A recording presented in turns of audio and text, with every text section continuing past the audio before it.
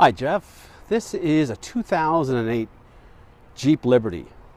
They were built uh, pretty well the same thing as uh, Dodge Nitro. Same size, chassis, engine, configuration, cargo volume. Anyway, I just thought I'd show you this. I know you're looking for a Dodge Nitro.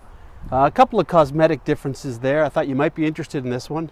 It's got a lot of space here. You can see it's got the tonneau cover there. And it is in fact a 4x4. To show you the wheels.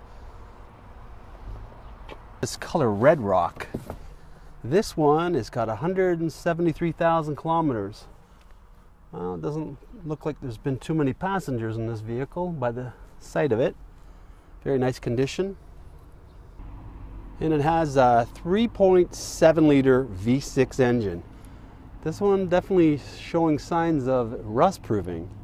So they rust proofed it. This usually means that it was taken care of by somebody who loved it.